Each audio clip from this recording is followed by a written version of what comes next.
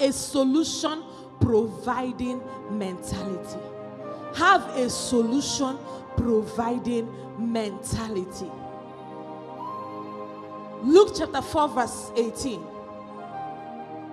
Luke chapter 4, verse 18. Media, are you there?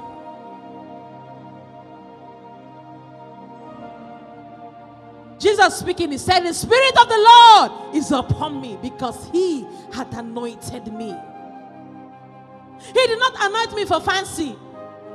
He did not anoint me to have sunshine body.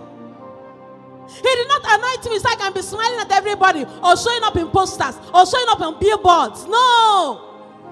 He did not anoint me so I can have a large chair in church. No. He did not anoint me so I can be wearing suit every day. I'm just wearing changing uniform. No. He anointed me to do what? Preach the gospel to the poor. He has sent me to heal what? The broken-hearted. He has sent me to preach deliverance to the captives. He has sent me to recover the sight of the blind. The solution I'm here to do is to set at liberty them that are bruised. If you your life must count, you should be what? Solution providing in your mind. You should have a solution providing mentality.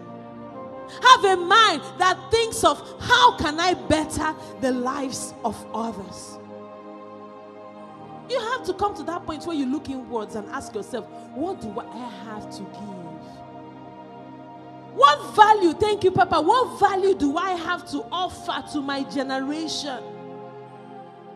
What am I uniquely gifted in that I can give to my world? Listen to me. No matter how poor you are, there is still something you can give. No matter how uneducated you are, there is still something inside you that you can give. The challenge we have is that many people do not look inwards, rather, they are looking at other people's gifts. And you forget that we are all uniquely created. Everyone having their own unique set of skills, unique set of gifts, unique set of anointing. Jesus did not bother about the people that had come ahead of him.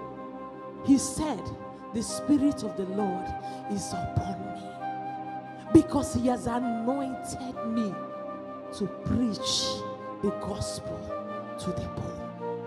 He has sent me to heal the brokenhearted. I don't care what others are doing, but He has anointed me to preach deliverance to the captives. The next pastor by the doors, by, by the street, might be preaching something else, might be doing something else, but there is something we have been uniquely anointed to. So others can be preaching prosperity, others can be preaching deliverance, others can be preaching prayer by fire. But in this house, we have been anointed to give what? The oil of enthronement to everyone that comes. You need to figure out for yourself what have you been uniquely gifted to do because in all honesty every anointing of God upon you is there so that you can solve a problem.